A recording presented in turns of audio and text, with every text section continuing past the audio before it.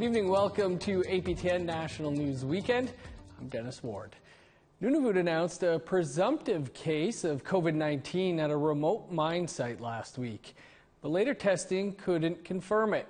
Now, the same mine has two presumptive cases, but the government says they're not connected. Kent Driscoll has the story. Nunavut health officials took questions today following an announcement of two presumptive positive tests for COVID 19 at the Mary River iron ore mine.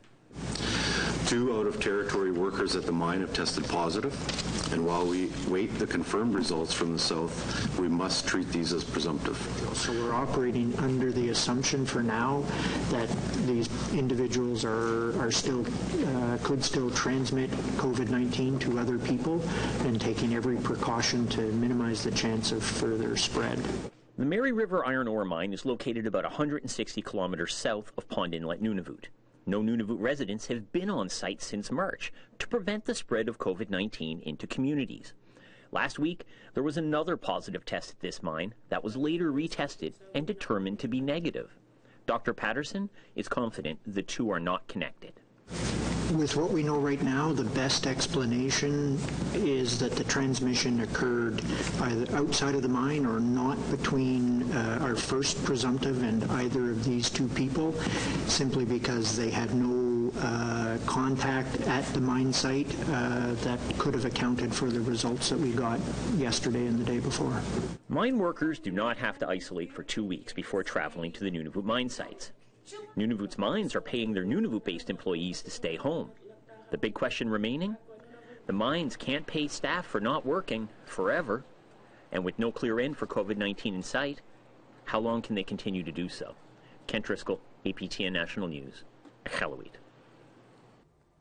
Ontario has become the latest to end birth alerts.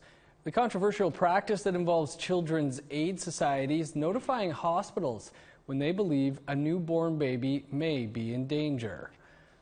Birth alerts disproportionately impact Indigenous and marginalized communities, and ending the practice was among the recommendations of the Missing and Murdered Indigenous Women and Girls National Inquiry. Ontario will end the alerts on October 15th of this year. Jill Dunlop, the Associate Minister of Children and Women's Issues, said her government made the decision after listening to community members and service providers we were hearing firsthand that this practice was taking place, and it's um, you know traumatic for moms, for for children, and for families too. So it's one of the first steps in the uh, child welfare uh, modernization that we are doing, and you know we're trying to work to. Um, uh, you know, collaborate with families that families have a voice in their, their plans moving forward, and birth alerts just do the exact opposite. On a First Nation in southern Alberta, there have been six opioid related deaths in just five weeks. Officials say the overdose rate has spiked significantly during the COVID 19 pandemic. As Tamara Pimentel reports, the Piikani Nation is calling for action by the Canadian government. On the Piikani Nation, dozens quietly gather for a powerful photo.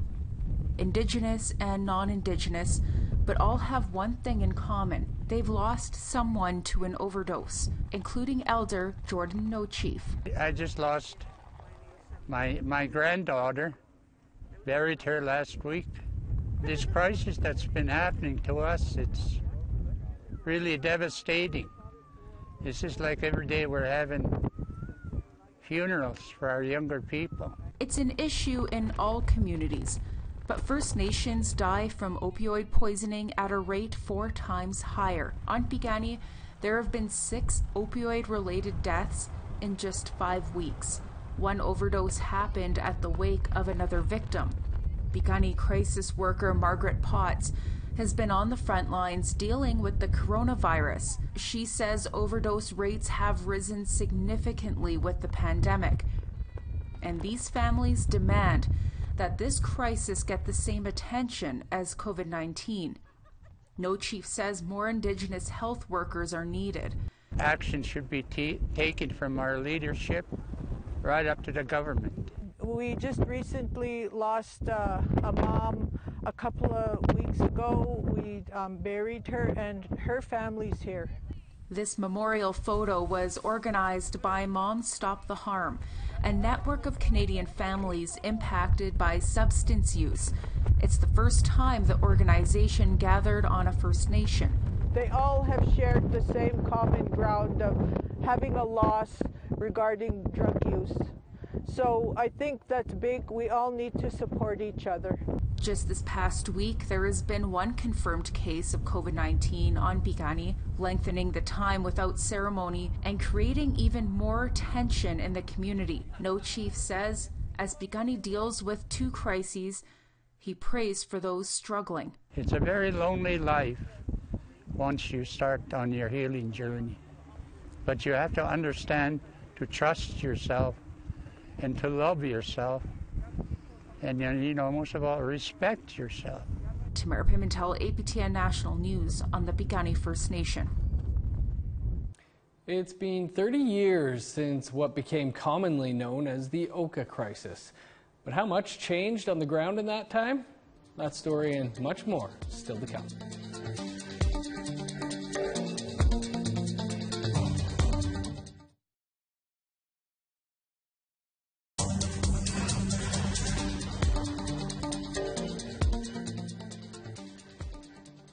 Welcome back. It all started with the expansion of a nine hole golf course into a Mohawk burial site. 30 years ago this past weekend, a firefight between Mohawks of Kanesatake and Quebec Provincial Police left an officer dead.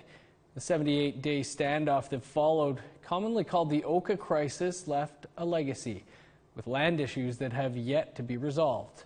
Tom Fennario has the story. This convoy, over 100 vehicles long, is rolling along Highway 344. If this hill looks familiar, there's good reason. 30 years ago, this hill was the site of a 78-day standoff. Most know it as the Oka Crisis, but for Mohawks here, it's called the Siege of Kanesatake. They want people to get hurt over a golf course. The native people are fed up with being pushed around and our land taken. We're tired of that. We're taking a stand. Ellen Gabriel was a spokesperson at the Kanesatake barricade in 1990. Saturday, she found herself fulfilling that duty once again. Our ancestral lands still face theft and dispossession. Our traditional governments, delegitimized by colonial created political entities, by the governments of Canada and Quebec. And this ain't a surrender either. The siege may have ended three decades ago, but for many who lived it, it's never been resolved.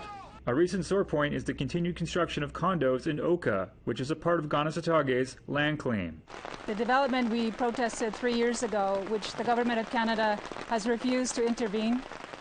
Kanesatake Grand Chief Serge Simon says the most recent incarnation of land claim negotiations have been ongoing for nine years and counting. The repatriation of uh, available lands, yes, that's one of the sticking points. And um, there is an obligation by the Crown whenever the, uh, these lands are available and uh, are undeveloped.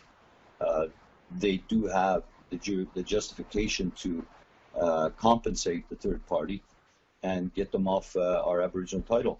The Band Council has been heavily criticized lately by fellow Kanesatake members over the opacity of negotiations. Jeremy Tomlinson recently co authored a letter demanding transparency over the land claim process. This is not customary at all for us. So, your job, if you represent me and this community at a negotiation table, you go, you get the information, and you come back. Because how can you negotiate when you don't even know the position of the people? How can you represent that position when you don't know what it is? When we haven't told you. For his part, Simon says Canada's negotiation policies leave him stuck between a rock and a hard place. We have a confidentiality agreement with the feds. The policy of Canada says you gotta you gotta keep the community informed.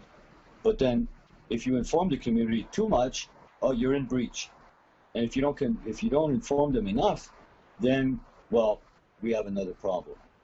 So I'm sick and tired of it. Simon adds there are negotiations scheduled towards the end of the month. Meanwhile, if Saturday's anniversary events are any indication, Kanesatake may have some allies in Ottawa. NDP leader Jagmeet Singh pledged support, saying that as an opposition party in a minority government, he wants to make a difference. Liberal government can use, uh, can count on me as an ally. I've made it really clear this is an important issue for me. And so if they need to pass any legislation, I'm there to help pass that legislation. Ellen Gabriel posed for a picture of Singh while holding the two-row treaty wampum belt. Originally made with the Dutch over 400 years ago, the two-row is named for the two purple lines between three white to express independence between nations. As Gabriel explained, the two purple lines travel down the river of life together, but never do they intersect. To honor and respect each other's differences, to honor and respect each other's ways of doing things, to not interfere. After 400 years of the Two-Row Treaty, and now the 30th anniversary of the Siege of Kanesatake, Ellen Gabriel is clearly tired of waiting. What we're saying to, to the Canadian citizen is wake up. We want our land back. Tom Fennario, APTN National News, Kanesatake, Mohawk Territory. The Bill Reid Gallery of Northwest Art in Vancouver is unveiling its newest edition, which will honor the 100th birthday of its namesake. And as Sarah Connor shows us, the exhibit looks at much more than Reid's art. Bill Reid was Canada's most acclaimed Haida artist. He passed away in 1998 at the age of 78. But now his work and the man behind it can be seen like never before. Right here is the mythic messenger's bracelet, which is on loan to the gallery and just one of the most uh, spectacular pieces I've ever seen. Bill Reid was an acclaimed Haida master artist and is credited with reviving Haida art. He's best known for his large sculptures housed in prolific places, like the Jade Canoe in Vancouver International Airport.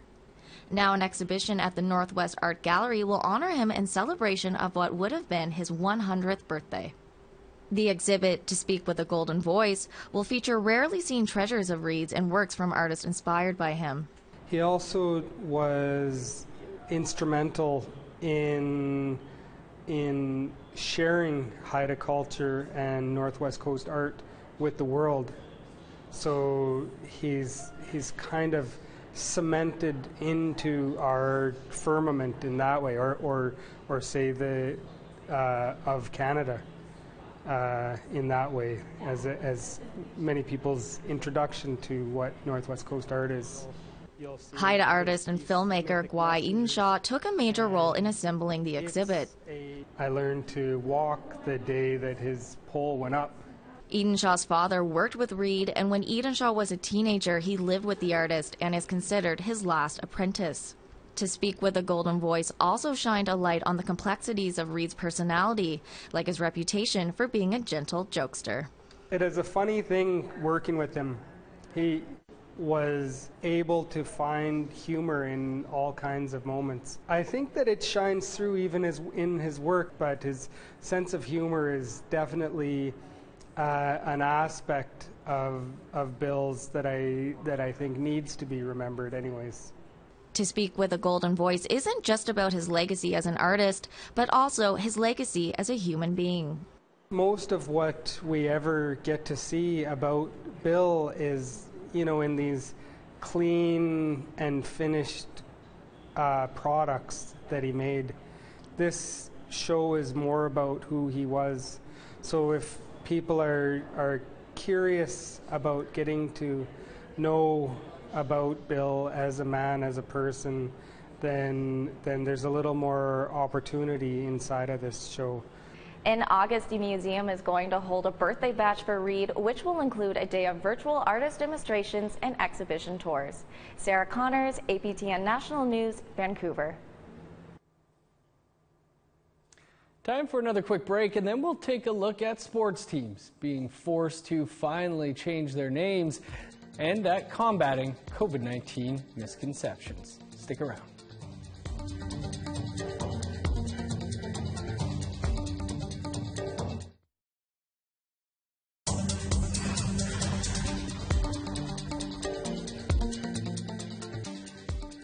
Welcome back. The Canadian Football League's Edmonton franchise have closed their survey with key audiences and shareholders. The survey was supposed to help decide if they should keep the team name. called racist and offensive in the wake of Black and Indigenous Lives Matters demonstrations in the U.S. and Canada. Michelle Karlinzig has that story for us. When Edmonton launched a survey this week asking if their name is racist, Twitter users were outraged. The questions were biased and leading, they said. Like this one Do you believe that when the name was originally chosen, the intent was to be disrespectful of Inuit or Indigenous people? This is not Edmonton's first survey. They sent delegates to Inuit communities in October 2019 to ask what the people thought of the name. They released the results in this year's annual report. 78% opposed the name change in the Western Arctic. In Nunavut, 55% opposed the change. In the Eastern Arctic, 69% said keep the name. Not very convincing, says Mumilaaq Qaqqaq, member of parliament for Nunavut.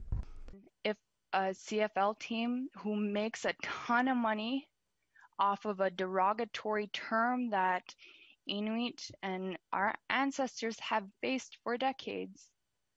Well, then, really, where are we in 2020? And what does that mean for our future? Right now is a really huge opportunity to be able to shift how we think and how we perceive stereotypes and assumptions of Indigenous peoples and Inuit. Jordan Tootoo is retired now, but he was the first Inuk to crack an NHL lineup, playing in the league for 723 games over 15 seasons.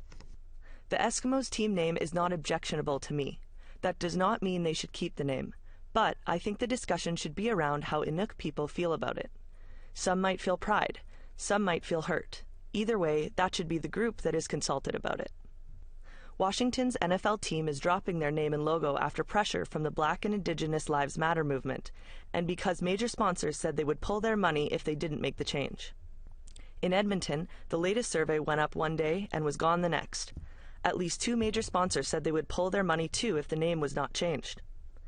The team says the results of their one day review will be published in two weeks.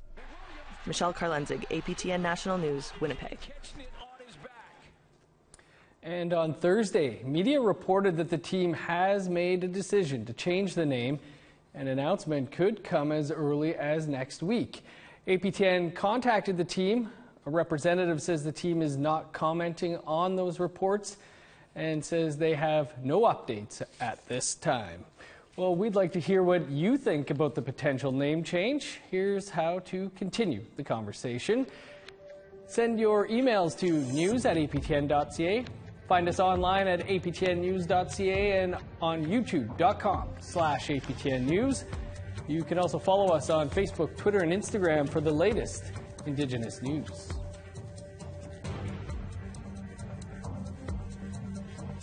Well, offensive team names and mascots have been the focal point of criticism for years.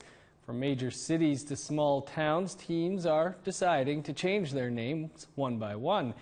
But as Daryl Stranger tells us, a Manitoba team is still fighting to keep their name, which others deem offensive. The Morden Redskins senior men's team have been a part of the Southeastern Manitoba Hockey League since 1986. They have used the same name every year in the league since, and have not looked at a name change despite past and present calls for a change. The general manager of the team, Brent Mellick, is from Swan Lake First Nation. He feels the name is a sign of respect, not disrespect. From my perspective, I think it shows a lot of respect. I think uh, when we're out there and we're playing hockey, it's just it, it, it's bringing it's a good vibe. It's always been a good vibe with the Morden Redskins name. Um, people think it's offensive because it's in the dictionary or wherever it is that it says it's a racial slur. I mean, that's not our intention at all. I mean, we're completely opposite of that. A push was made five years ago to change the name, but the name stuck. City of Morden Mayor Brandon Burley says he had no education of the hurt that the name caused during that time, but that he's learned from the past and hopes to be a part of the solution moving forward. Uh, the name has hurt and continues to hurt. And certainly, as, as a public official, as a person who's elected to represent the entirety of the city, uh, I will stand up for the rights of all, including our Indigenous community. But I also want to point out that I'm not um, preaching from a soapbox. I'm pointing three fingers squarely back at myself when I'm pointing one at the name. Burley added that the city would be willing to assist in funding should the team decide to change names certainly offered to help ensure that funding was present for them and to do that fundraising effort and even help out of my own pocket. Um, that is certainly a thing I think council, the city, I've had very positive conversations with people who have been supporters of our men's hockey team in the past and would love to have a hockey team to support moving forward. Of course, we have no senior team except for this one, and hockey is sacrosanct in Canada. And I think that we would love to have a team to cheer for and a jersey and a name and a logo and a brand that's truly reflective of our community values. Malik says the team is currently conducting a review, but it will not be complete in the immediate future. I mean, obviously, we need to uh, review all of our stuff again, and uh, you know, we're gonna we're gonna go from there. Um, keep everything positive, and I, I think we'll, we'll we'll come up with a good result. I have a good feeling about it. Daryl Stranger, APTN National News, Winnipeg. Ryan McMahon singing and drumming about COVID 19. It could be a possible hit this summer. At least the National Association of Friendship Centers hope so. They just debuted the comedian doing just that. And as Todd Lamirande reports, it's all to tackle misconceptions about the virus. Sweat Lodge is a safe place as long as I'm acknowledging stay away from me the spirit of that virus. COVID 19. That'll keep me safe.